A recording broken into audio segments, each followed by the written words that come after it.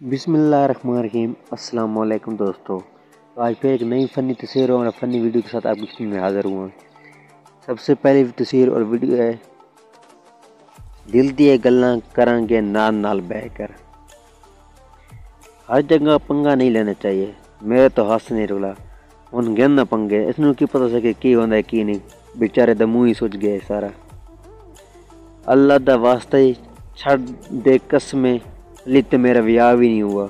ये भी गल ठीक है छोड़ दे बेचारे ने चीज़ विआह भी नहीं हुआ, तू पहले है वो मैनू पकड़ ले, मैं गिर जावगी, फिर मर जावगी। ए देखो ए होंगे है प्यार, मोहब्बत। कुछ पाने के लिए कुछ खोना पड़ता है। बिल्कुल ठीक होगा जी। पाने का कुछ खोना ही पौना मनु समझ नहीं कि पाकिस्तान ते इतना कर्जा किस तरह है। तीन टैलेंट, इतना चलो किस तरह पाकिस्तान तक करता चल देखो ना मोटर बाइक तो इतनी अर्श लेके जाना पा। देखी जा, पर छेरी ना। वे गल ठीक है वे गिनो ने को छेरे ना पाकिस्तान के कानून तो बस सख्त देख लो जी। इशारे ते दो खोती खड़ो गए तो इशारा नहीं ला अगर नहीं जाना।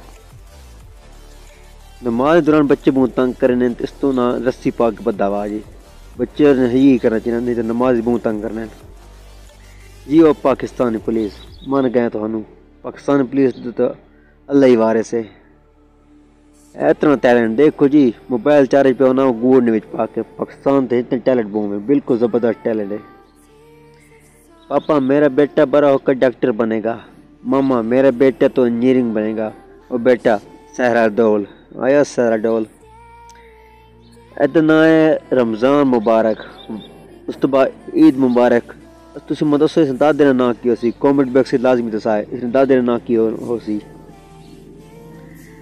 चुप को फिर मैं हाँ ही समझूं। ऐ देखो तरसी हुई आवाम।